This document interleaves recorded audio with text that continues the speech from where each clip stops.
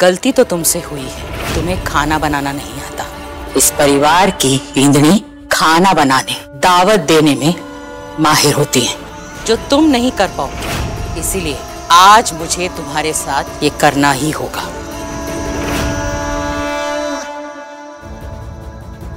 सुलोचना क्या करे भाई तू?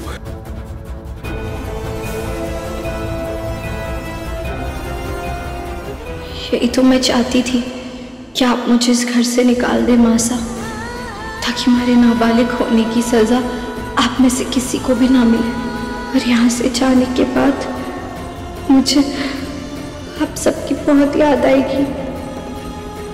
बुलबुल, ऐसा क्यों कर रही है? समधन सा से माफ़ी भी ना मांग बल्कि उसके चेहरे पर एक संतुष्टि है।